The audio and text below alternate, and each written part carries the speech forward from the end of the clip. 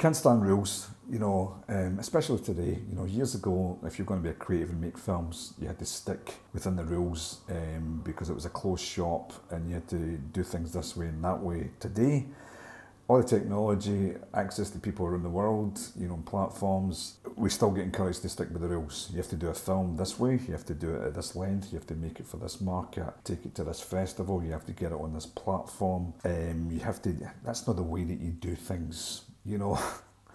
it's like we've got all this freedom, all this technology. Don't get me wrong, you know, if I'm trying to raise a budget, which I am with a couple of projects, that's different. I'll play with the rules, you know, tick all the boxes I'll wear that hat.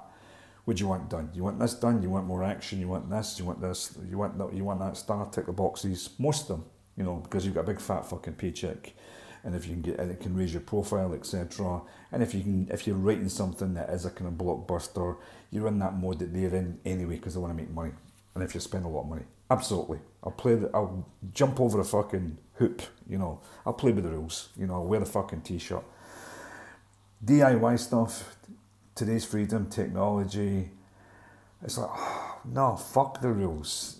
No rules. I don't care what length the film should be. I don't care if it's in this genre, that genre. I don't care. It, it can, you know, for me, I'm putting my Mad World series on the, yeah, the major platforms, but I'm going to go underground and put it on other platforms. I'm going to try this, experiment with this, different lengths, different styles in a genre using the freedom of the technology that we've got and the platforms that we've got and the way that we can market and social that we've got to just create like a painter and try and experiment with things and do different things different because there doesn't have to be any fucking rules. You know, that's the whole point of being a creative is to break the rules, is to smash them up. I still stay within a sort of concept, you know, so that somebody can go, oh, I get the idea of that. But there should be more rule breaking and that's that's kind of what I'm trying to do with my kind of DIY films um, it's just more fun, more creative, you know, as well, and trying to build that way and it, create more content, which builds community, builds audience potentially. That's the whole thing. So I'm not really interested in rules at this level.